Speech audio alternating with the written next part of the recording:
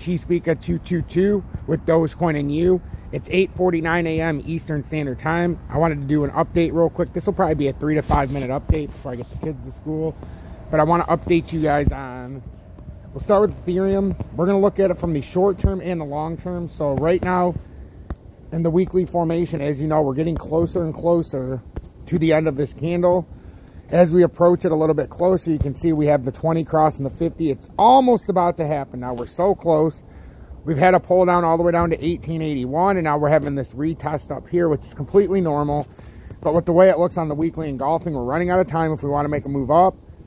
And we're going to have to do it today or tomorrow because Sunday will likely bring us down. But I would expect this to start coming down as soon as we break that 20 day and the 30 minute time frame, or the 30 minute and the 20 day in the 30 minute time frame.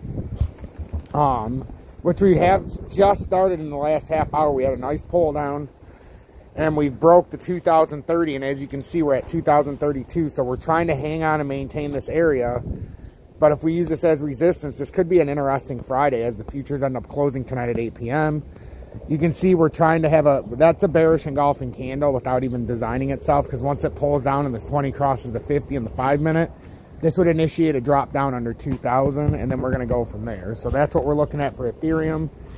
Um, the biggest thing with Ethereum is in the immediate short term. We haven't broke it yet, but you can see we're trying to break this rising channel, I guess you could call it. And once we break this rising channel,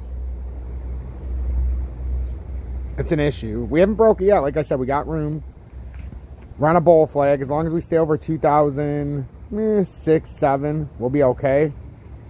Um, but if we break through that, then we come down to the support because we won't hold this W reversal. But this is a bull flag like we talked about yesterday in the in the live stream.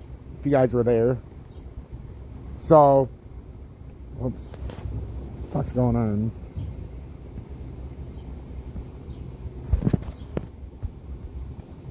What in the hell? So, assuming it were to break out, it would come up to our upper target of around 2200. Assuming it breaks down right here, your technical target would be right back into the consolidation zone at 1903. So pay attention very closely to that. And you're going to want to pay attention this morning with that. And then Matic. Matic's on a bull flag as well. We've, you know, we, we know where it's going to go if it breaks up. As long as we hold the 20 day, we're crossing. We had a 20 cross to 50. So if I had to guess, I would say we're going to come up to this resistance at about 70 cents and see what's going to happen from there. So that's a little bit of a move. That's four or five cents up. And then with Shiba. Shiba's ugly, but it is breaking outside of this descending triangle in the immediate short term. So if you were to break up above that, it would still be this targeted area up here at about 1404. That's where it could come up to unless it trades within this descending triangle. But the next target's 1235 and 1273. Make sure to hit that like button. I'll be back shortly.